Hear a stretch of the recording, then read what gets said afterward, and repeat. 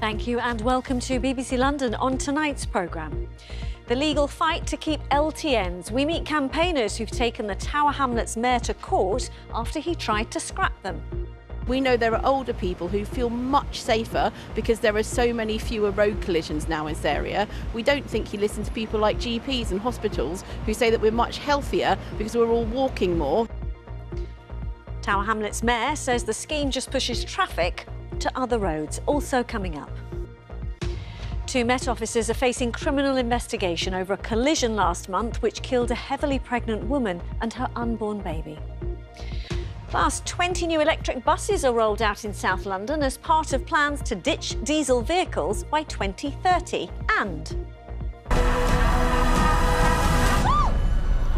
You're green. We assess the Wicked effect on London ahead of the film version this week.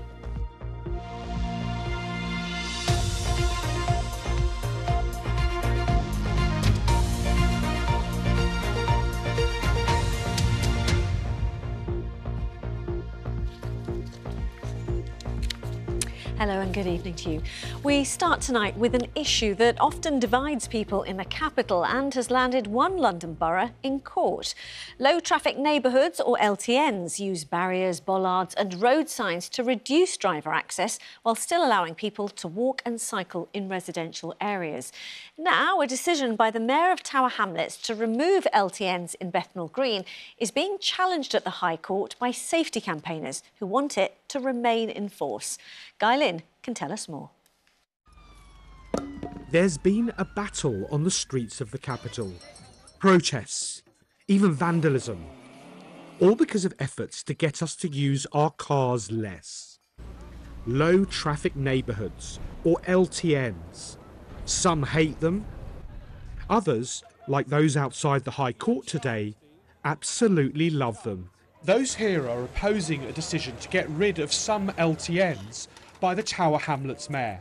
We do not believe that the mayor complied with his legal duties to listen and consult local residents about what this scheme is actually like in practice.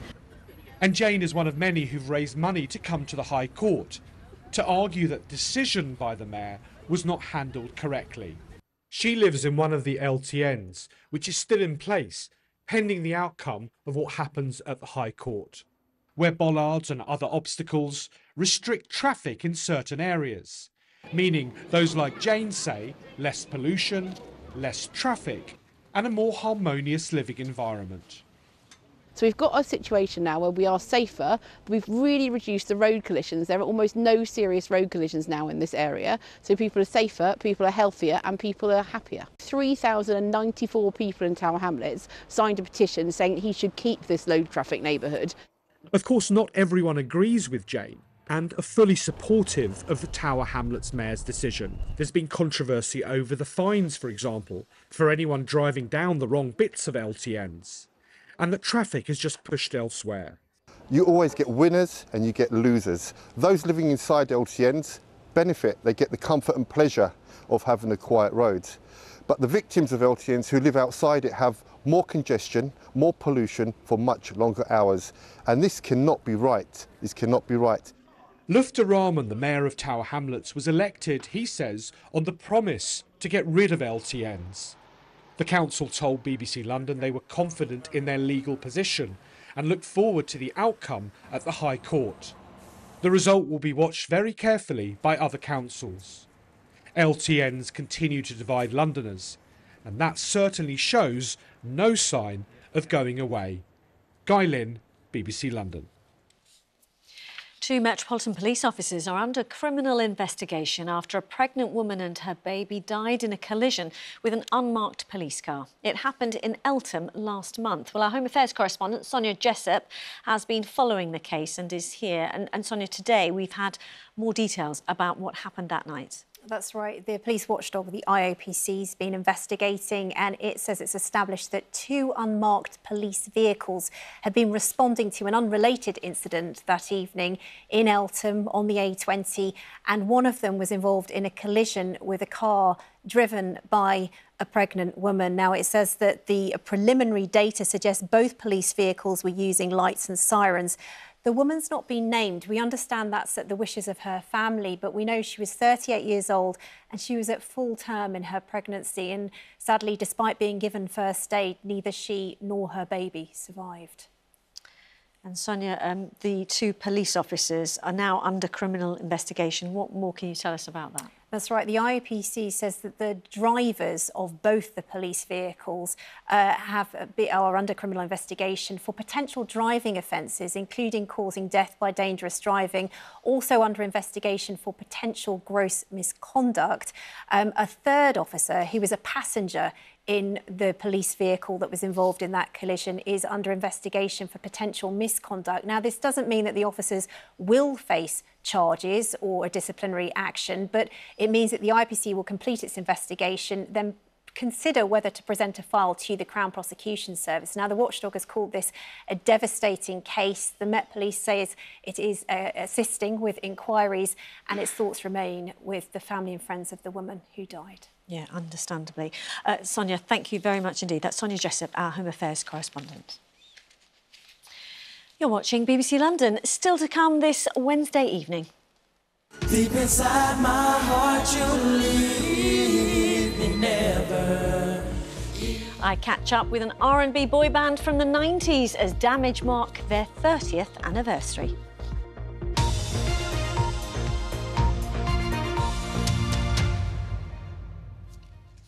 Now, if you've been out and about in southeast London, you may have caught a glimpse of one of these. They are the capital's newest e-buses and they'll operate on the 358 route between Orpington and Crystal Palace. Transport for London says they'll make London greener and cleaner because they're charged in a different way to conventional electric buses. Chris Legg has been to take a ride on one. Better late than never. It was hoped these buses would be running almost two years ago, but today, London's first pantograph charged buses finally hit the streets on the 358 route from Orpington to Crystal Palace. Pantograph technology sees the bus charged by this extending arm making contact with the roof, with opportunity charging through the pantograph here, it means that at the end of the, uh, the routes, both here and at Orpington bus station, um, we can charge the, the buses, give them a little top up, which means that they don't have to go back to the depot during the day, which means we need fewer buses and we can manage the long journey, 15 miles between Crystal Palace and Orpington. Isaac is one of the first drivers to take to the wheel. Safety wise, I would say this is one of the top buses I've driven, and I've driven a few buses since 2009. So I can say confident that this is one of the best. As soon as you come off the uh, the gas pedal, it slows down, so it won't just roll away or take off. So yeah, that's the difference. It's really good. And so, with the rest of the media, we set off on one of the first pantograph powered trips through the capital. So, what's it like being a passenger on one of these buses? Well, I won't lie, it feels very much like being on any other bus. Um, TFL says it's been designed with safety in mind, that the seats are going to reduce accidents, that there's a non slip floor. But I do think uh, this is going to be what's going to go down best with all passengers USB charging points. Also on board, local MP Liam Conlon. It's fantastic. I mean, look, it's it's light and bright. This is all well and good, but are constituents telling you that TFL should be doing more on other routes to maintain and improve services? I think if we've now got this bus, I think more of this on other routes will be really welcomed. One of the things that constituents talk to me about all the time is they want cleaner air, they want to tackle air pollution. The Mayor of London is really serious about that, and this is another step that he's taken today that will be welcomed by constituents. Launch day didn't go entirely smoothly. One bus, not this one, was unable to go into service after the charging arm failed to connect. TFL says that was a teething problem caused by driver error and remains confident in the new technology. Chris Legg, BBC London. Let me bring you a roundup now of some of the day's other news. Two Metropolitan Police officers have appeared in court to deny sexually assaulting a woman in a casino while they were off duty. PC's Jerome Beasley, who's 42, and Luke Robinson, who's 39, both face four charges. They're currently suspended. Two people have been taken to hospital after a bus roof was ripped off after a collision with a tree in Dagenham. It happened at Hedgemans Road this morning. Police say two women were taken to hospital and their injuries are not life threatening. An investigation into the cause of the crash is underway. The Essex car giant Ford says it's hoping to avoid any compulsory redundancies after announcing the loss of 800 jobs in the UK over the next three years. A number of posts at the Research and Development Centre at Dunton near Basildon could be under threat. The firm says the cuts will be in administrative and development roles rather than production. And the operator of the Elizabeth line has lost its bid to renew its contract. From next May, it'll be run by a consortium that includes the Tokyo Metro and the company that already runs Southern and Thameslink. TfL says it'll bring the best parts of Tokyo and London to the Elizabeth line. Now we're going to take you back to the 90s and a London R&B boy band called Damage. This was one of their big hits.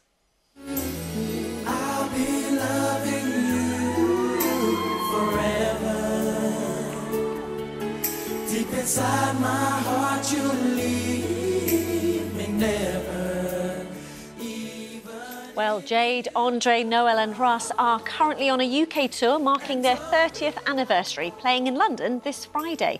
A little earlier, they came into the studio to have a chat with me. Hi, guys. Great to have you here. Hi. What was it like seeing yourselves back, your debut on Top of the Pops 1996? It's quite nostalgic, right? Yeah. It's quite strange watching that back, yeah. but fun. Like, it's great memories, great memories for sure. I've done a little bit of a cheesy look to the camera then I'm a little bit embarrassed about, but yeah, it was, it, was, it was, the time. It was what was required. It was yeah. the time. yeah, No ear grabs, though. Now, we know that the 90s and the noughties were seen as the golden era of boy bands. What was it like? like being compared or being up against people like, you know, Take That, Boyzone, Westlife? I think we mm. always, so we were inspired by people like SWV, Boyz II Men, Jodeci, um, Jackson, Jacksons, you know, Pasadenas. So for us, we always kind of had our own niche within that space. Mm. Um, but among the likes of Take That, Boyzone, 9115, I think Damage always stood out for the R&B sound that we had, yeah. Yeah, especially when you think about tracks like Ghetto Romance. Absolutely. Yeah. That was, a, you know, one of our biggest hits.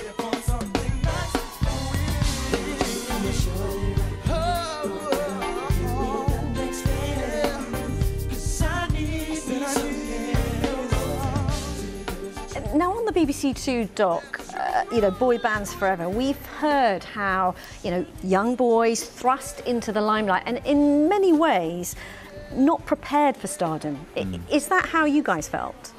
Hmm. I don't think we, no. we our journey was a lot different from all the other yeah. boy bands. Mm. You know, we, we, we were self-made. Yep. You know, we, we rehearsed. We did our due diligence. You know, we, we like rehearsed together from a young young age, and um, we put ourselves together. So that set us apart from everybody else. And we, we didn't have that big machine behind us to push us. We were like, yeah. we signed to an independent. So it was all about like Jade said, the hard work. Not that the other bands didn't put in the hard work, but mm. obviously our journey, like Jade said, is, was a little Very bit different. different. Yeah. Now, also, I should say, you have gone on to do different things, haven't you? Just tell us about that. Yeah. Oh, so I, I, work with I work for a charity called the Carers Trust, which is amazing, looking after young carers. So um, I've been doing youth work for plus 20 years, so uh, I'm still working with young people, which is amazing. I've been chefing and other things like property management and development and stuff. So I went on to become a criminologist, sociologist, organisational consultant and I do photography and also work in the education sector as well. Yeah. All, all whilst still all doing whilst performing damage stuff, yeah. which is amazing.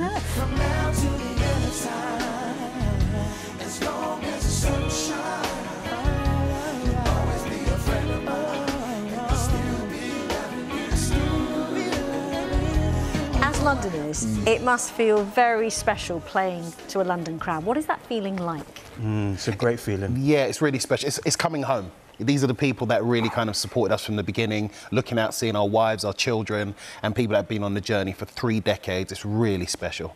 Here you are, you know, back on stage again mm-hmm. as men. Yes. Yes. Thank you. Thank, Thank you. you. I did there. Yeah, yeah. Um, Does it still feel as good, or are there a few more aches and pains? There definitely is a few more aches and pains. the knees, the knees stretch. You know, we have to warm up the body, the vocals, whereas before we just go on stage and just enjoy it. And we're still enjoying ourselves and we're still doing the absolute most. Yeah. Like you come to a damage performance and it will be like we're taking you back to 1996, 97. Definitely. That's an absolute promise. But yes, the warm up is necessary. Yeah. And the ride is just fruit and water. used to be lots of alcohol. Still sprightly, though. Well, from boy bands to what's anticipated to be one of the biggest film hits of the year. However, before Wicked hit cinema screens, it was a hugely successful theatre adaptation in the West End, of course. In fact, it's one of London's longest running productions and recently surpassed its 7,000th performance. Uh, to mark the movie's arrival, even Greenwich has been renamed Green Witch in honour of one of the main characters. Well, our reporter Matt Graveling can tell us more, and a warning there are some flashing images in Greenwich tonight. Matt. There are, yes, we're going to meet the Green Witch of Greenwich, Cynthia Erivo, in just a few moments. But about three minutes ago, she actually just illuminated the Greenwich Observatory behind me. Green, of course, with her co-stars from the Wicked movie. She also illuminated the Meridian line, splitting the sky into east and west. So as we look to the western sky, why don't you have a little watch of this report about the show which has been spellbinding people in London for almost two decades.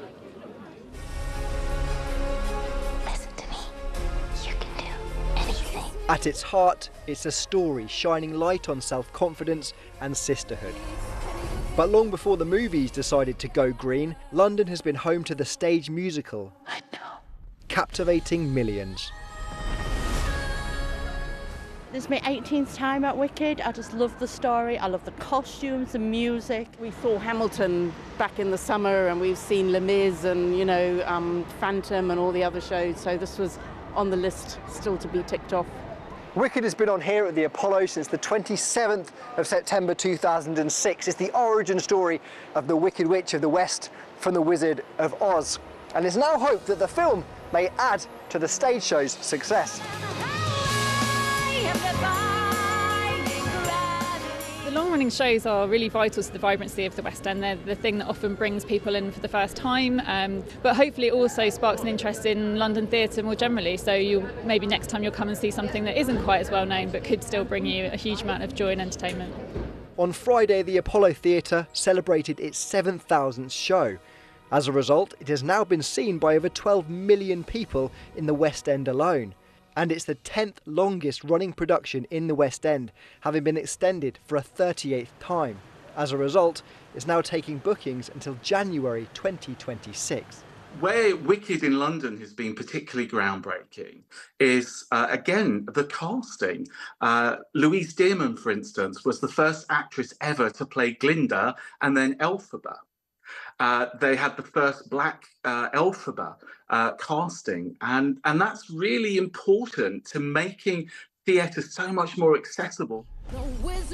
So, after 18 years at the Apollo and a new film out on Friday, Wicked looks set to continue defying gravity and expectation.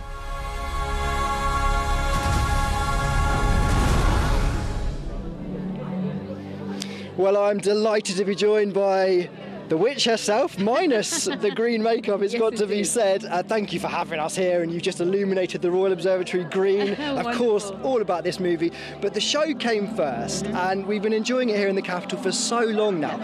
What's the secret? Why do you think it's been so well received for two decades almost? I think it's the story. I think uh, this story about these two women and their friendships. It sort of moves people. And the story about a person who feels a little bit outside of the, the norm um, it, and is, ends up celebrating and ends up, you know, finding her power is a, is a thing to celebrate. I think that's why it keeps going. Yeah. And the songs and the, the fun that you can have and it's good for everyone. Yeah. Now, we won't give any spoilers away, but um, for people who have seen the show, they'll know a bit about the film. Of course, it follows a, a young witch as she grows up. Now, yes. as a lady who grew up in this part of the world, yeah. in, in London, yeah. Did you take any of your own upbringing uh, into this role, into the characters, especially some of the struggles that, that young people do face? Yeah, yeah. I think I, have always felt a little bit odd and a little bit outside of the norm, and I think I took that with me and, and tried to infuse the character with it. And I think just like finding my own voice and finding out who I was is definitely um, helpful to, to playing this character. The show itself has, has diversified, hasn't it, over the years? Um, we spoke to a critic earlier who said that is very much the, the, secret of the, of the success. Do you think that's why it's done so well on the West End? I think so. I think you get a myriad of different people playing the, the roles and you, you get different points of view. And I think as long as you can keep changing and keep showing the different points of view, you'll always get something that grows. I get to speak to a lot of artists, and whether it's a, a musician making an album or an actor or an actress making a film, mm-hmm once it's out there, it's out there, yes. right? Yes, uh, Your family and yourself saw it at the yes. premiere. Yeah. What's the verdict? Uh, very, very happy. My mom saw it for the first time this week, and she cried her eyes out, so that was great. And my sister said she it was phenomenal. So that's high praise from both of them. Yeah. And I've been asked by some people in my office, uh, as someone from London, yeah. broomstick or tube. Oh, broomstick, always. I've got to agree with that. Cynthia, thank you so much. And if there's one spell you could cast, can you please make it a little bit warmer? Because I'll try it's... my very, very best. I, I, should have done that before I got here. I'm so sorry. I know, we've turned the whole place green. green. I'm turning now blue here, Cynthia. Well, we need to get you inside and get you some hot chocolate, I think. Hot chocolate with the witch. That is what I'm talking about. The movie comes out officially on Friday, the 22nd. Thank you so much. Thank you very much. Thanks to you both. Yeah, definitely go and warm up. Uh, Matt Graveling there talking to Londoner and star Cynthia Erivo. Meanwhile, another star of the film surprised passengers at a London station earlier with an impromptu piano performance.